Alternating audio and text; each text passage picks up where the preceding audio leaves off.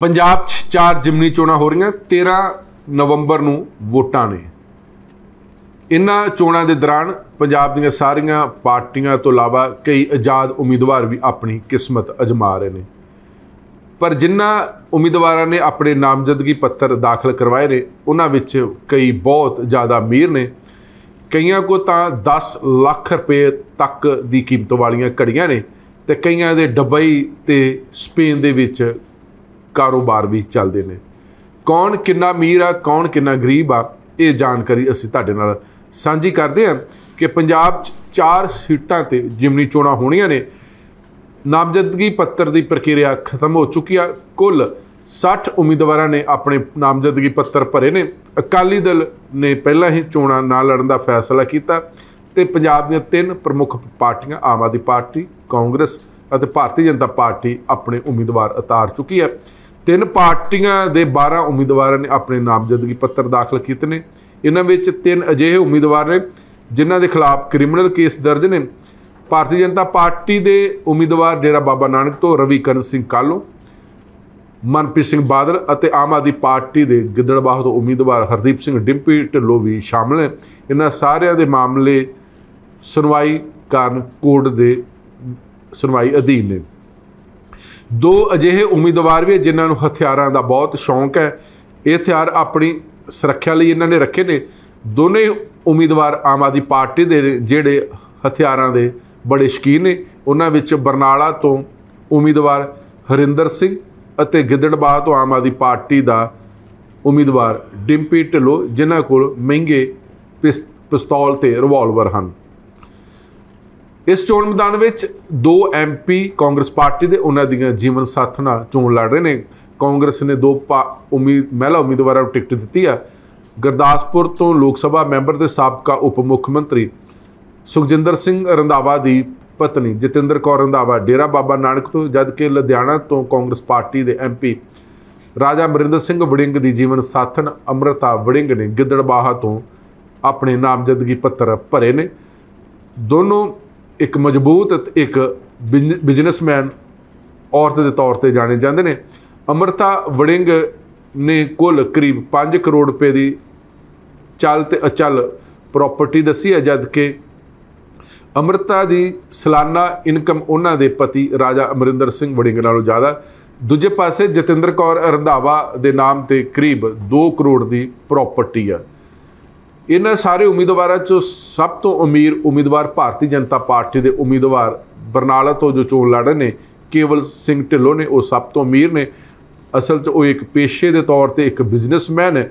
ਉਹਨਾਂ ਨੇ ਜੋ ਹਲਫੀਆ ਬਿਆਨ ਦਿੱਤਾ, ਉਹਦੇ 'ਚ 35.70 ਕਰੋੜ ਰੁਪਏ ਦੀ ਪ੍ਰਾਪਰਟੀ ਦੱਸੀ ਹੈ, ਲੇਕਿਨ ਉਹਨਾਂ ਦੀ ਪਤਨੀ ਉਸ ਤੋਂ ਵੀ ਜ਼ਿਆਦਾ ਅਮੀਰ ਹੈ। ਉਹਨਾਂ ਕੋਲ ਕੁੱਲ 120 ਕਰੋੜ ਰੁਪਏ ਦੀ ਪ੍ਰਾਪਰਟੀ ਹੈ। ਇਸ ਪਰਿਵਾਰ ਦੀ ਪ੍ਰਾਪਰਟੀ ਭਾਰਤ ਵਿੱਚ ਹੀ ਨਹੀਂ, ਬਲਕਿ ਯੂਏਈ ਅਤੇ ਸਪੇਨ ਦੇ ਵਿੱਚ ਵੀ ਹੈ।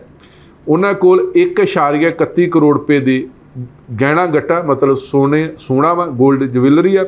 ਇਸ ਤੋਂ ਇਲਾਵਾ 3.82 ਕਰੋੜ ਰੁਪਏ ਦੇ ਡਾਇਮੰਡ ਵੀ ਆ। ਸਭ ਤੋਂ ਅਹਿਮ ਗੱਲ ਹੈ ਕਿ ਉਹਨਾਂ ਕੋਲ ਕਰੀਬ 10.52 ਲੱਖ ਰੁਪਏ ਦੀ ਘੜੀਆਂ ਦੀ ਵੀ ਕਲੈਕਸ਼ਨ ਹੈ।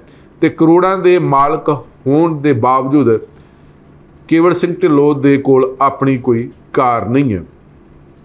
ਹੁਣ ਗੱਲ ਕਰਦੇ ਕਿ ਸਭ ਤੋਂ ਪਹਿਲਾਂ ਭਾਰਤੀ ਜਨਤਾ ਪਾਰਟੀ ਦੇ ਉਮੀਦਵਾਰ ਮਨਪ੍ਰੀਤ ਸਿੰਘ ਬਾਦਲ, ਜੋ ਗਿੱਦੜਬਾਹ ਤੋਂ ਇੱਕ ਵਾਰ ਫਿਰ ਚੋਣ ਲੜ ਰਹੇ ਨੇ। 62 ਸਾਲ ਦੇ ਮਨਪ੍ਰੀਤ ਸਿੰਘ ਬਾਦਲ, ਜਿਹੜੇ ਜਿਨ੍ਹਾਂ ਦੀ ਐਜੂਕੇਸ਼ਨ ਜਿਹੜੀ ਆ, ਉਹਨਾਂ ਨੇ ਲਾਅ ਆਨਰਸ ਕੀਤੀ ਹੈ ਲੰਡਨ ਤੋਂ ਔਰ ਕ੍ਰਿਮੀਨਲ ਰਿਕਾਰਡ ਜਿਹੜਾ ਉਹਨਾਂ ਦਾ ਸਤੰਬਰ 2023 ਵਿੱਚ ਵਿਜੀਲੈਂਸ ਬਿਊਰੋ ਬਠਿੰਡਾ ਨੇ ਐਫ ਆਰ ਦਰਜ ਕੀਤੀ।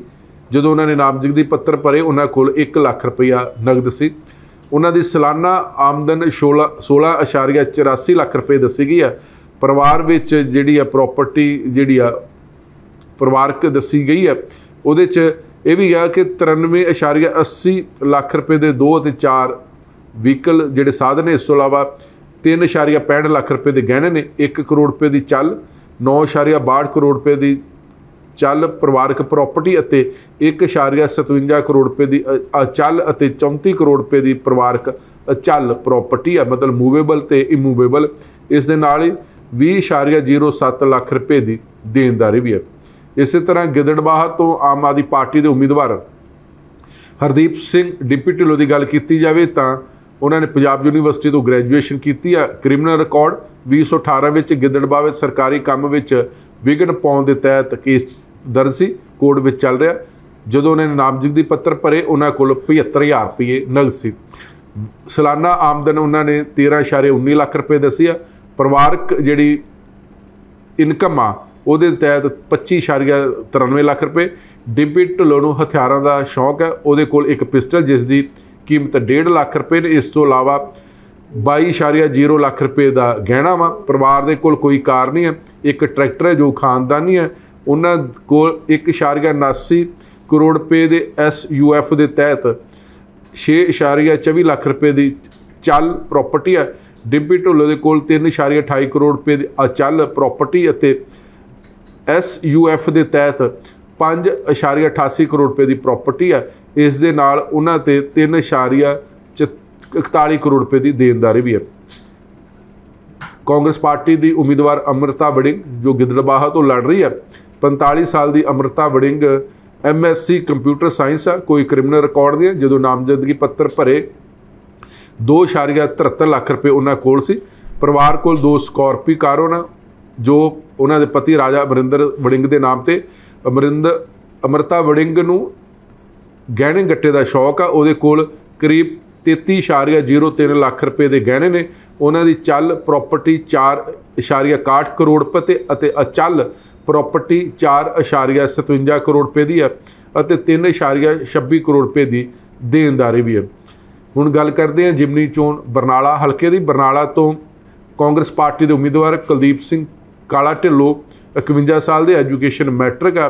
ਕ੍ਰਿਮੀਨਲ ਰਿਕਾਰਡ ਦੀ ਗੱਲ ਕੀਤੀ ਜਾਵੇ ਤਾਂ 2001 ਵਿੱਚ ਐਫ ਆਈ ਆਰ ਦਰਜ ਕੀਤੀ ਗਈ ਸੀ, ਲੇਕਿਨ ਕੋਰਟ ਨੇ ਉਹਨਾਂ ਨੂੰ ਬਰੀ ਕਰ ਦਿੱਤਾ ਗਿਆ ਸੀ। ਕੈਸ਼ ਇਨ ਹੈਂਡ ਜਦੋਂ ਉਹਨਾਂ ਨਾਮਜ਼ਦਗੀ ਪੱਤਰ ਦਾਖਲੇ 1 ਰੁਪਿਆ ਸੀ। ਸਾਲਾਨਾ ਇਨਕਮ 10.40 ਲੱਖ ਰੁਪਏ ਨੇ, ਕੋਈ ਕਾਰ ਨਹੀਂ ਹੈ, ਲੇਕਿਨ ਪੰਜ ਬੱਸਾਂ ਇਹਨਾਂ ਦੇ ਨਾਮ ਤੇ, ਜੋ ਰਾਜਸਥਾਨ ਵਿੱਚ ਰਜਿਸਟਰਡ ਹਨ, ਇਹਨਾਂ ਦੀ ਵੈਲਿਊ ਤਕਰੀਬਨ 45 ਲੱਖ ਰੁਪਏ ਨੇ। ਟਰਾਂਸਪੋਰਟ ਦਾ ਕੰਮ ਅਤੇ ਬਾਬਾ ਦੀਪ ਸਿੰਘ ਤੇ ਢਿੱਲੋ ਹਾਈਵਾ, ਹਾਈਵੇਜ਼ ਵਿੱਚ ਇਹਨਾਂ ਦੇ ਇਹਨਾਂ ਦੇ ਨਾਮ ਤੇ ਹਿੱਸੇਦਾਰੀ ਸ਼ੇਅਰ ਵੀ ਆ। ਤਕਰੀਬਨ 5 ਤੋਲੇ ਸੋਨਾ ਇਹਨਾਂ ਕੋਲ ਹੈ, ਜਿਸ ਦੀ ਵੈਲਿਊ ਤਕਰੀਬਨ 5 ਲੱਖ ਰੁਪਏ ਹੈ। ਚੱਲ ਪ੍ਰਾਪਰਟੀ ਤਕਰੀਬਨ 7.55 ਕਰੋੜ ਰੁਪਏ ਤੇ ਅਚਲ ਪ੍ਰਾਪਰਟੀ ਦੀ ਵੈਲਿਊ ਕਰੀਬ 1 ਕਰੋੜ ਰੁਪਏ ਇਹਨਾਂ ਨੇ ਦੱਸੀ ਗਈ ਆ। ਕੇਵਲ ਸਿੰਘ ਢਿੱਲੋਂ, ਜੋ ਭਾਰਤੀ ਜਨਤਾ ਪਾਰਟੀ ਦੇ ਉਮਰ ਉਮੀਦਵਾਰ ਉਹਨਾਂ ਦੀ ਉਮਰ 74 ਸਾਲ, ਗ੍ਰੈਜੂਏਟ ਨੇ ਕ੍ਰਿਮੀਨਲ ਰਿਕਾਰਡ ਜ਼ੀਰੋ ਨੇ, ਕੈਸ਼ ਇਨ ਹੈਂਡ ਕਰੀਬ 2.69 ਲੱਖ ਰੁਪਏ ਸੀ। ਸਾਲਾਨਾ ਆਮਦਨ ਜਿਹੜੀ ਆ 72.14 ਲੱਖ ਰੁਪਏ ਨੇ। ਬਿਜ਼ਨਸਮੈਨ ਪਰਿਵਾਰ ਹੋਣ ਤੇ ਪੂਰੇ ਪਰਿਵਾਰ ਦੇ ਕੋਲ ਕੋਈ ਗੱਡੀ ਨਹੀਂ ਹੈ ਇਹਨਾਂ ਦੀ ਇਹਨਾਂ ਨੂੰ ਵੀ ਜੁਐਲਰੀ ਦਾ ਬਹੁਤ ਸ਼ੌਕ ਹੈ। ਇਹਨਾਂ ਕੋਲ ਕਰੀਬ 1.31 ਕਰੋੜ ਰੁਪਏ ਦਾ 골ਡ ਹੈ। ਤੇ 3.82 ਲੱਖ ਰੁਪਏ ਦੇ ਡਾਇਮੰਡ ਹਨ। ਇਹਨਾਂ ਨੂੰ ਇਹ ਘੜੀਆਂ ਦੇ ਵੀ ਕਾਫੀ ਸ਼ਕੀਨ ਹੈ। ਇਹਨਾਂ ਕੋਲ ਕਰੀਬ 10.52 ਲੱਖ ਰੁਪਏ ਦੀਆਂ ਘੜੀਆਂ ਦੀ ਕਲੈਕਸ਼ਨ ਕੇਵਲ ਢਿੱਲੋਂ ਨੂੰ ਪ੍ਰਾਪਰਟੀ ਦਾ ਕਾਫੀ ਸ਼ੌਕ ਹੈ। ਭਾਰਤ ਤੋਂ ਇਲਾਵਾ ਇਹਨਾਂ ਕੋਲ ਦੁਬਈ ਵਿੱਚ ਵੀ ਪ੍ਰਾਪਰਟੀ ਦੱਸੀ ਗਈ ਹੈ। ਚੱਲ ਪ੍ਰਾਪਰਟੀ ਤੋਂ ਇਲਾਵਾ ਦੀ ਜਿਹੜੀ ਵੈਲਿਊ ਆ, ਉਹ ਕਰੀਬ 21.75 ਲੱਖ ਕਰੋੜ ਰੁਪਏ ਅਤੇ 35.77 ਕਰੋੜ ਰੁਪਏ ਦੀ ਅਚਲ ਪ੍ਰਾਪਰਟੀ ਵੀ ਹੈ। ਕੇਵਲ ਢਿੱਲੋਂ ਸਭ ਤੋਂ ਅਮੀਰ ਉਮੀਦਵਾਰ ਹੈ ਲੇਕਿਨ ਇਹਨਾਂ ਦੀ ਪਤਨੀ, ਇਹਨਾਂ ਤੋਂ ਵੀ ਅਮੀਰ ਹੈ ਉਹਨਾਂ ਦੇ ਨਾਮ ਤੇ 120 ਕਰੋੜ ਰੁਪਏ ਦੀ ਅਚਲ ਪ੍ਰਾਪਰਟੀ ਹੈ ਇਸ ਤੋਂ ਇਲਾਵਾ ਦੁਬਈ ਦੇ ਅਤੇ ਸਪੇਨ ਵਿੱਚ ਵੀ ਇਹਨਾਂ ਨੇ ਘਰ ਖਰੀਦੇ ਨੇ। ਹਰਿੰਦਰ ਸਿੰਘ, ਜੋ ਆਮ ਆਦਮੀ ਪਾਰਟੀ ਦੇ ਉਮੀਦਵਾਰ ਨੇ, ਬਰਨਾਲਾ ਤੋਂ ਉਮਰ 35 ਸਾਲ ਹੈ ਐਜੂਕੇਸ਼ਨ ਬੀਟੈਕ ਦੀ ਡਿਗਰੀ ਕੀਤੀ ਹੋਈ ਹੈ ਕ੍ਰਿਮੀਨਲ ਰਿਕਾਰਡ ਜ਼ੀਰੋ ਆ, ਪਰ ਕੈਸ਼ ਇਨ ਹੈਂਡ ਕਰੀਬ 1.5 ਲੱਖ ਰੁਪਈਆ। ਸਾਲਾਨਾ ਆਮਦਨ ਇਹਨਾਂ ਦੀ 19.24 ਲੱਖ ਰੁਪਏ ਨੇ। ਟੋਇਟਾ ਇਨੋਵਾ ਕਾਰ ਚਲਾਉਂਦੇ ਨੇ। 2.32 ਲੱਖ ਰੁਪਏ ਦੇ ਗਹਿਣੇ ਗੱਟੇ ਨੇ।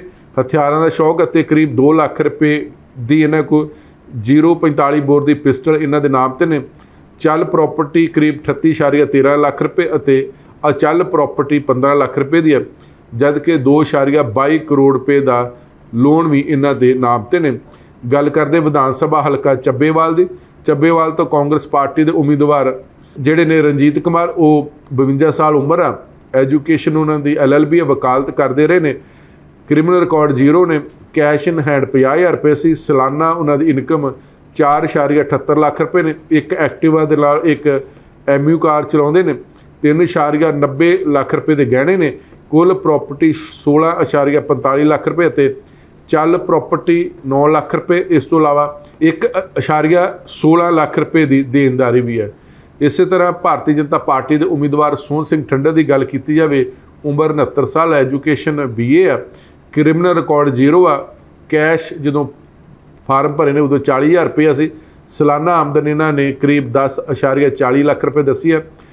ਆ ਸੈਲੋਟੇਸ ਕਾਰ ਚਲਾਉਂਦੇ ਨੇ, ਉੱਥੇ ਹੀ 4.80 ਲੱਖ ਰੁਪਏ ਦੇ ਗਹਿਣੇ ਦੇ ਮਾਲਕ ਵੀ ਨੇ।